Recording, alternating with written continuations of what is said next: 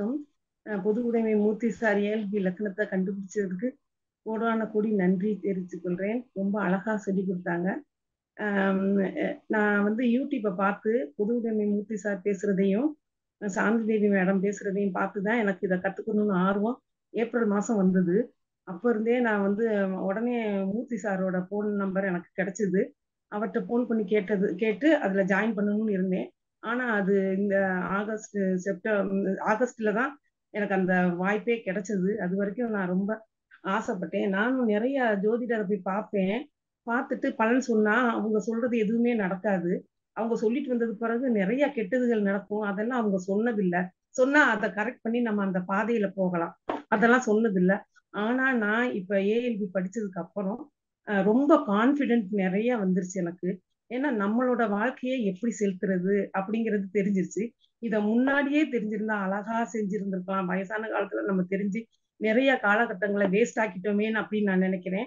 இதையே ஒரு ஸ்கூல்ல ஒரு பாடமா கொண்டு வந்தா பிள்ளைங்க எல்லாருமே வந்து எனக்கு இந்த இதுல சேர்ந்ததுல இருந்து எனக்கு ஒரு ஆசை என்னன்னா ஸ்கூல்ல ஒரு பாடமா இதை கண்டிப்பா எடுத்துட்டு கொண்டு போகலாம் ஏன்னா எளிய முறையில வயசானவங்க கூட கத்துக்கிறது மாதிரி இப்ப ஒரு முப்பது நாள்னா பதினஞ்சு நாள் தான் நமக்கு கணக்கு. அந்த அந்த நாள்லயே அழகா சொல்லி கொடுத்துருக்காங்க. என் மனசுல தோணுச்சு இது மாதிரி ஒரு பாடத்தை கொண்டு வந்தாங்கன்னா ம- மக்கள் எல்லாருமே அவங்களோட வாழ்க்கை ப- பயணத்தை மத்தவங்களுக்கு ஜோதிடம் பார்க்கணும் பார்க்கல அது வேற விஷயம். நம்ம எப்படி நம்மளோட வாழ்க்கையை கொண்டு போகலாம் அப்படிங்கிறதையும் நம்ம தெரிஞ்சுக்க முடியுது.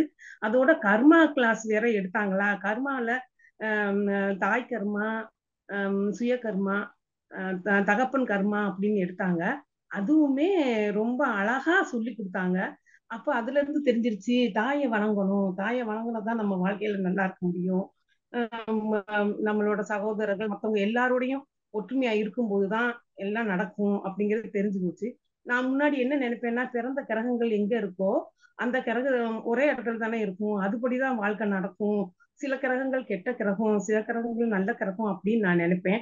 ஆனா இப்பதான் எனக்கு தெரிஞ்சது பத்து வருஷத்துக்கு ஒரு தடவை லக்க நகரும் போது எல்லா கிரகமுமே ஈக்குவலா தான் நல்லது கெட்டது செய்யுது அப்படிங்கிறது தெரிஞ்சிருச்சு. அதனால கிரகத்தின் மேல நம்ம அஹ், தப்பு நமக்கு இந்த கிரகம் தான் நல்லது செய்யும் அப்படிங்கிறது இல்ல.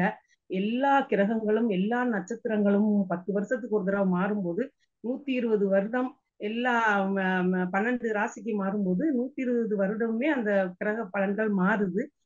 நம்ம வந்து தவிர்த்திருக்கலாம் அப்படிங்கிறது தெரிஞ்சிருச்சு. வாழ்க்கையில இந்த ஏஎல்பி படிச்சதை என்ன பூர்வ புண்ணிய பலனா நான் கருதுறேன் நான். ஆனா போன ஜென்மத்துல நான் செஞ்ச புண்ணியத்துக்கு தான் இதை நான் கத்துருக்கேன். கத்துக்கிட்டு இப்ப நான் எல்லாருக்கிட்டையும் சொல்லிட்டு இருக்கேன் எல்லாரும் கத்துக்குங்க. கத்துக்கிட்டு உங்களோட வாழ்க்கையை நல்ல முறையில நடத்துங்கன்னு சொல்லிட்டு இருக்கேன் இந்த இந்த ஏஎல்பி லக்கணத்தை நகர்கிறத கண்டுபிடிச்ச ஆஹ் பொதுவுடைமை மூர்த்தி சாருக்கும் அஹ் அதுல சொல்லி கொடுக்குற அந்த குருமார்களுக்கும் நன்றி. இந்த குருமார்கள் சொல்லி கொடுக்குறாங்களே அப்பாப்பா என்ன அழகு என்ன அழகு.